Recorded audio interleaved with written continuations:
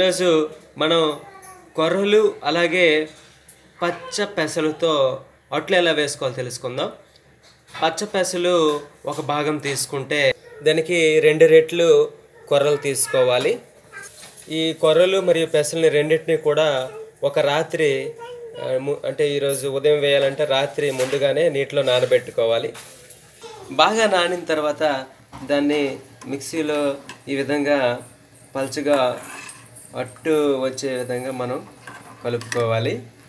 దీంట్లో సరిపడినంత ఉప్పు వేసుకోవచ్చు.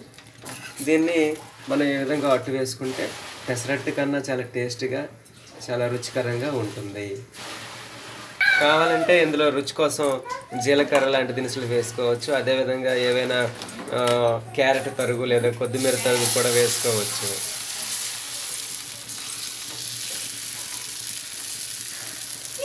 చూడండి ఎంత రుచిగా ఉంటాయి.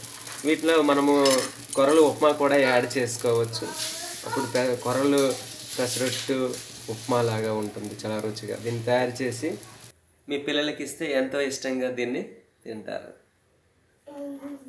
ఇలాంటి మరిన్ని రెసిపీల కోసం మన ఛానల్ని సబ్స్క్రైబ్ చేసుకోండి. షేర్ చేయండి లైక్ చేయండి. ఎట్లు? మీ Chandramouli Gomata ayurvedic nutrition and health education.